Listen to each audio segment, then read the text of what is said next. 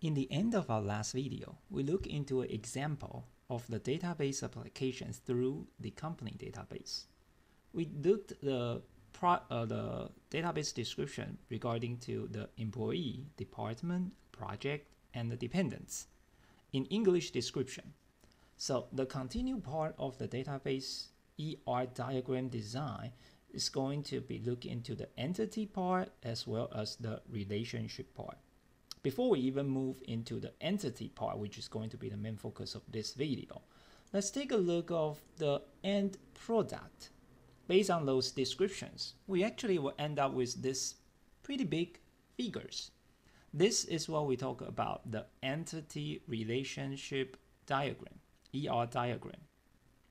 You can see that there are employee, which is one of the entities we described, department, project as well as dependent. There are many attributes talking about each of the entity and there are relationships that connects different tables together. So this is what we want to learn. How do we convert those descriptions in English into what we call the conceptual design of the database ER diagram? In this figure, you see that there is actually no code, obviously. This is what I talk about, the pseudocode for the database description. We want to understand this part first before we can even start writing the program. So let's start looking into the entity part. Start with the oval shapes, which are the attributes describing the entity the example of the relation, basically each entity is a table. In the table, there are some formal terminologies that we want to use. So basically, you can see in this example, student is the student table that we are looking at. Basically, we also give it another name instead of the table name. It can also be referred as relation name. Attributes, the each column are describing different attributes of the relation or the students that we want to talk about. Each row represents one student. So this is the basic idea of the ER model. And of course, student can be considered as one rectangular box we see in our previous slide, and then each attribute can be considered as an oval, which are the attribute describing the student entity. The most basic objects that the ER model represents is an entity. An entity may be an object with physical existence, such as a person, you can see a person, a car, a house, so that if you uh, look into the websites describing the house, then obviously you need to look into how many bedrooms that you have, what's the address, uh, how many square feet this this house have, does it has a garage, those kind of things. You can see those are the attributes describing the house. So it can be something real existed, or it may be an object with conceptual existence, such as a company, a job, or a course. So you cannot really see that. You can do that, you can use it, you can be there, but you cannot really see it. So basically, that is like human creation creates a conceptual existence of an item, and we try to describe it. So, for example, courses, how many students do you have? What, which room are you going to use? What is the time, etc. Waiting list. And every entity has attributes we have talked about many different examples. The particular properties that describing the entity you are interested in. So we would start looking into the entity part, mainly focus on the attributes. To talk about the attributes, there are several different type of attributes and we want to understand it. So this is a list of five different type of attributes that we want to look into. First of all, simple versus composite attribute. Then single value versus multi-value attribute. Then we will look into store versus derived attribute a null attribute. Right now, you should already have some idea about the null since you pass CS1, CS2, even the data structures. In database, null can be ha have additional meanings besides the null that you already know. So that's something we want to look into. Finally, a complex attribute is a combination of the composite attribute and multi-value attribute. Since two things combined together become very complicated, and that's why we call it a complex attribute. So let's take a look of each one by one, and then you can have better understandings about what are the attributes. First of all, composite versus simple attributes. So what is it? Composite attributes can be further divided into smaller parts. That is something we call a composite attribute. For example, the best one is the address. Your address is consist of the street name, street number, city, state, zip code. Sometimes you have even more apartment number, or something extra. So one attribute of the address can be further divided into smaller subparts. When this type of attributes describing an entity we are interested in, we then call this as a composite attribute. Think about this. When you try to apply a credit card or you go to Amazon and try to buy some when you try to fill in the address, does it give you one big box of address and you fill everything or it has nicely separate everything into smaller parts including the street uh, number street name con, uh, city zip code state? They usually are separated and that is the exact idea of the composite attributes being implemented in our real life. Same thing with your name. Rarely, it still have some cases that they give you a big box of the name, so you type in your name, Bernard space Chen. But most of the case, they have separate into first name, middle name, and last name. And that is another good example of what we call a composite attribute. On the other side, if the attribute cannot be further divided, such as your first name, your salary, you, it doesn't make sense that you try to separate your salary into two bucks. Okay, gender as well. So these are the type of the things are considered as the simple attributes. Most of the attributes that we try to describe is simple attributes. Occasionally, we will go into a more complicated format, which is going to be the composite attributes. Well, of course, this is depending on the real uh, examples, real life examples that you are facing. The value of composite attribute is the concatenation of the value of its const, uh, constituent simple attributes. What does that mean? What that's trying to say is this. You can see the address can be further divided into street address, city, state, and zip. When that is happening, your street address plus city plus state plus zip equals to your address. So these four things combines together equals to your address, one thing you can sometimes there's hierarchies over there you can further divide your street addresses into number street and apartment number. Needless to say number plus street plus apartment number equals to street address. And therefore to represent this in the ER diagram you can see that for a composite attribute, for the level of street, city, state, zip code, what's going on with that the address is equal. By this representation, you can see streets is equal to address is equal to street plus city plus state plus zip.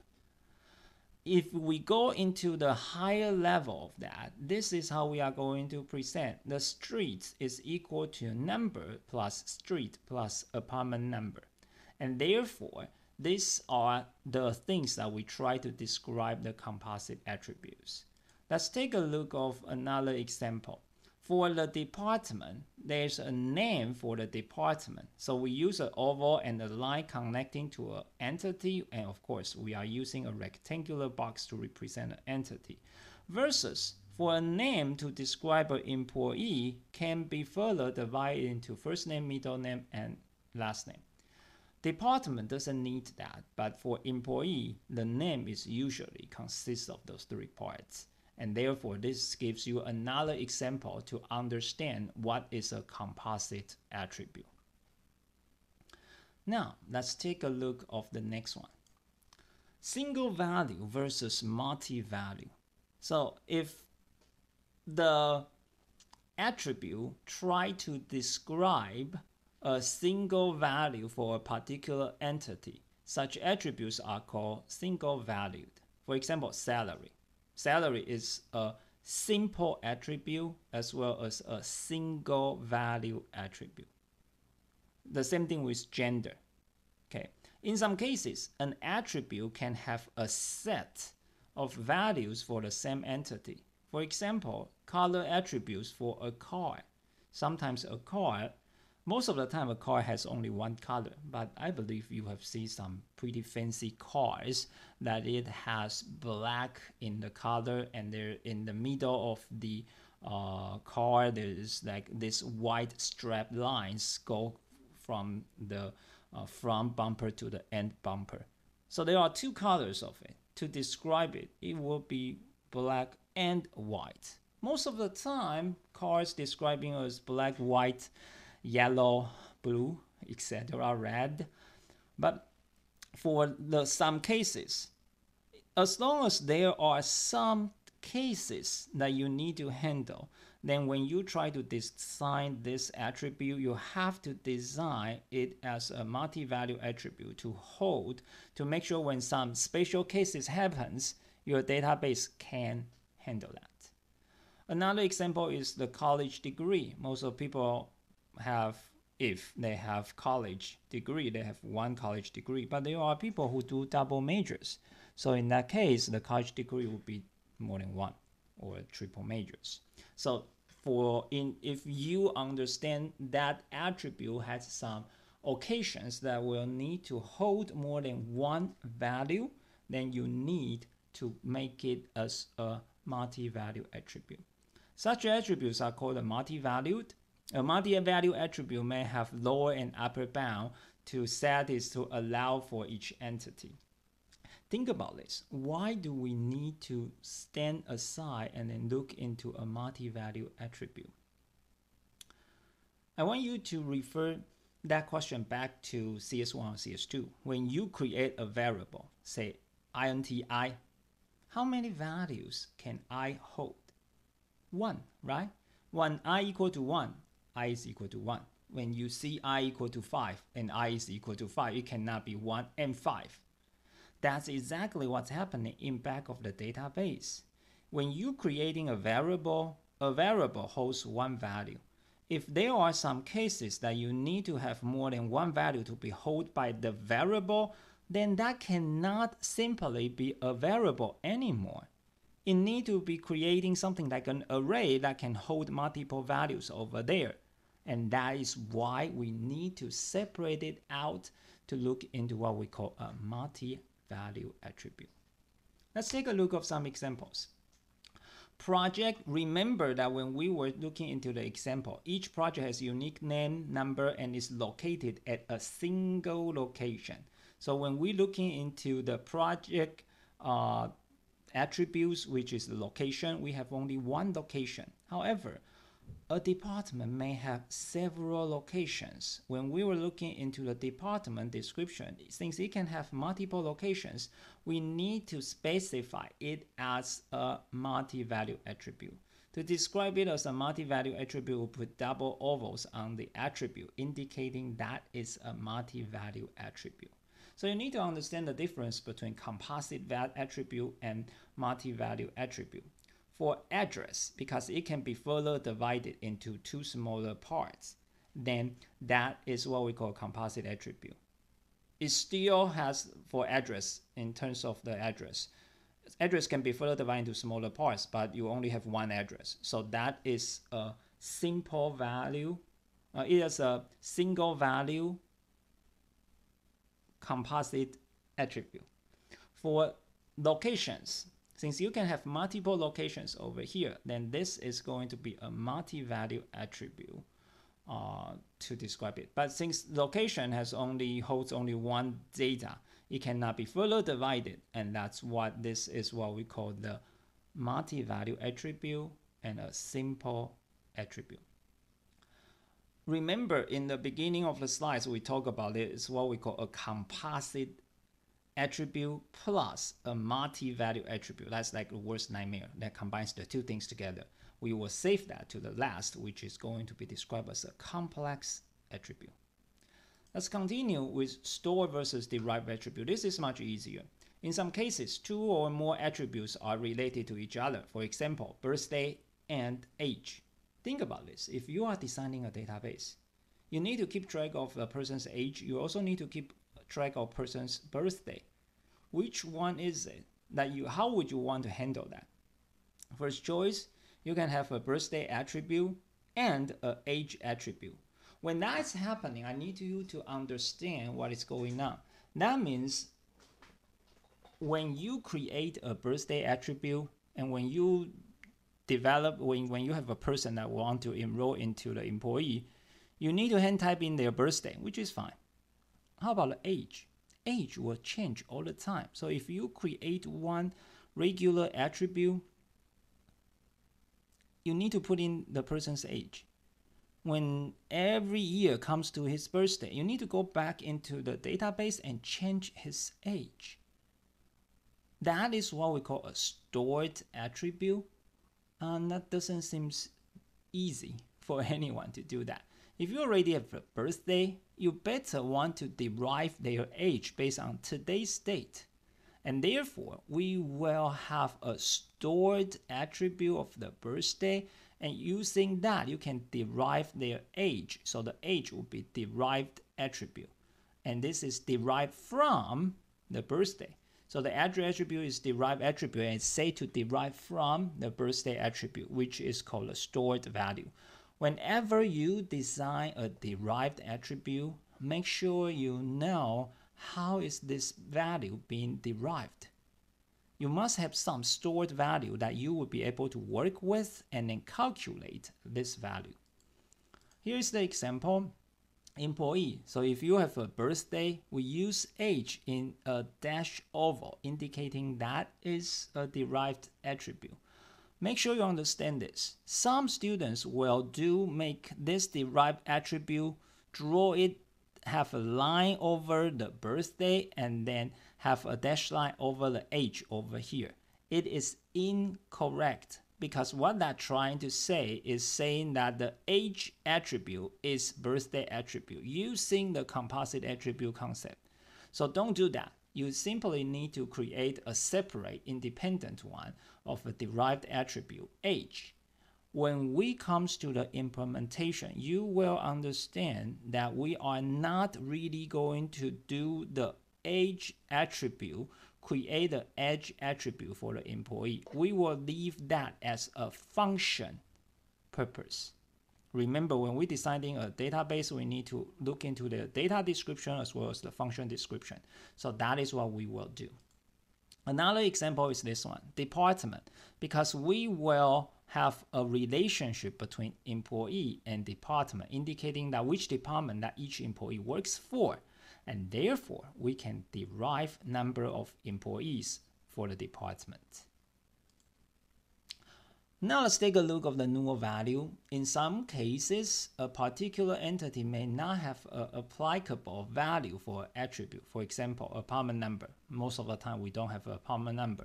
College degree. Not everybody has a college degree. So when you trying to create a box over there, sometimes for this kind of things, you need to make sure it is okay to leave it null. Come back to your online shopping experiences. When you're ready to check out, there's usually a lot of box for you to input your name, your uh, address, etc.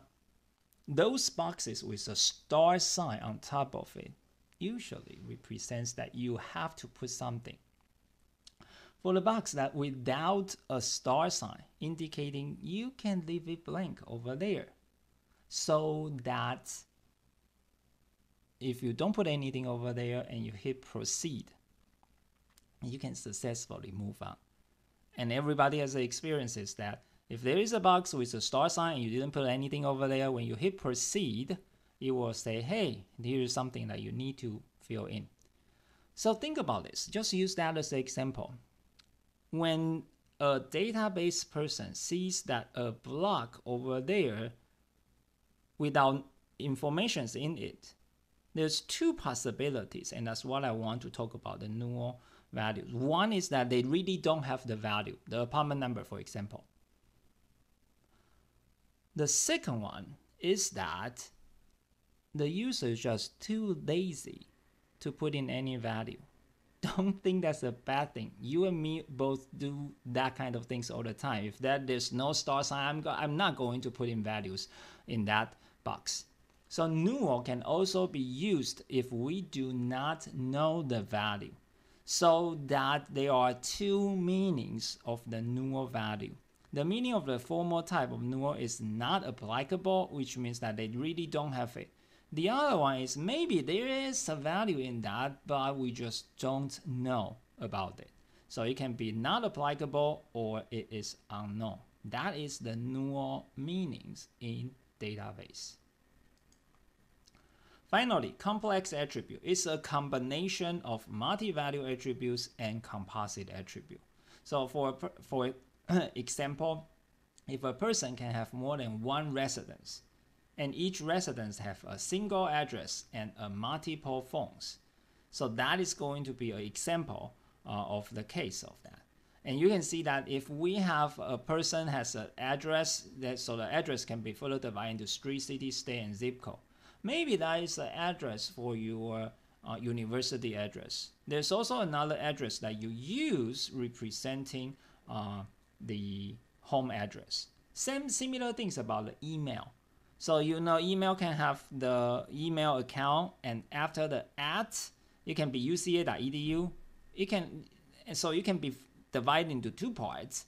Uh, on the other side, if that is a, a Gmail account that you have, so you can have your account name at gmail.com so that it can be further, since it can be further divided and you can have multiple values of that that gives you a complex attribute. So you can see it's a combination of multi-value attribute and composite attribute, which is the most complicated form of the attributes that we can have. Here is another example. So the address can use the uh, more detailed descriptions by looking into the number street apartment number of, over the street so that the address. If we do this you need to understand one thing. The address become number plus street plus apartment number plus city plus state plus zip. So there are six attributes describing the address. And since you can have multiple address this forms a complex attribute